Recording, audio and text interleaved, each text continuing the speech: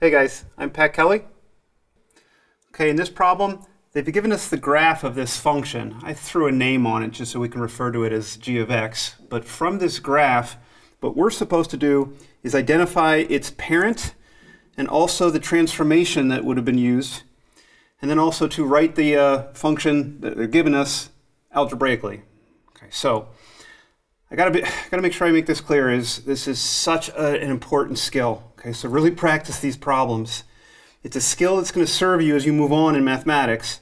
And the skill is you're looking at a function that you may not have exactly worked with before, but you recognize that it looks something like what you have worked with before. Such a good skill to have. So for instance, I have maybe never worked with that exact function, but what I try to recognize is that looks an awful lot like x cubed. You should know your basic functions. x cubed is the one that comes down, swooshes over a little bit, and then continues down. So that's the parent that they're looking for in this particular problem. I'll say f of x here. f of x equals x cubed.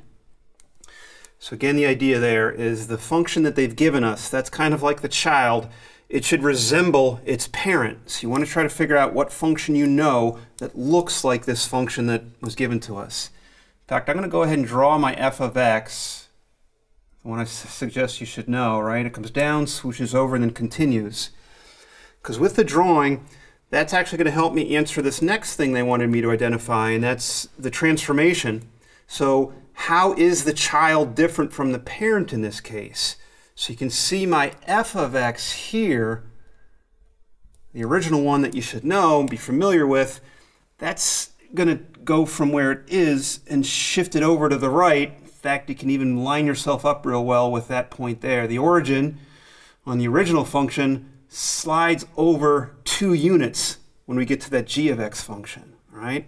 That's the transformation that they want for us in this problem. It's a horizontal shift. Two units in this case to the right. Okay, so of course different problems are going to vary, but what you're thinking of is what did it take to go from the parent to the child? Shifting it left, right, up, down, reflections, all those transformations that we've been learning. And then finally, they did ask us to write an equation for this function. So for me, g of x. And I'm going to come up with my answer here by thinking about how the particular transformation that's involved uh, manifests itself in the algebra from the parent function. So the horizontal shift two units to the right. Let me slow down. Any horizontal shift, however many units, actually either left or right, what you want to be thinking for horizontal shift is that's going to be inside, hugging the argument. So for me, if it was x cubed, I'm going to take x and pair it up with how much of a shift it has before I do the cubing. Cubing will be outside there then. So horizontal shifts are always inside with the argument, inside with the x. Now you have to figure, okay, well, two units is easy enough to realize, well, this is going to be a 2 right there. But then you want to make sure you have either the correct addition or subtraction. Horizontal shifts to the right are actually subtraction. That's part of what you're trying to learn and remember is horizontal shifts to the right are actually subtraction inside, shift to the left would be addition.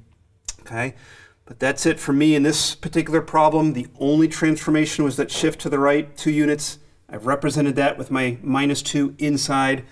And so this would be my equation for g of x in this problem. Okay? These problems might take quite a bit of thinking, but I'll stress again, it's such a good skill to have, so try to get it down now. All right?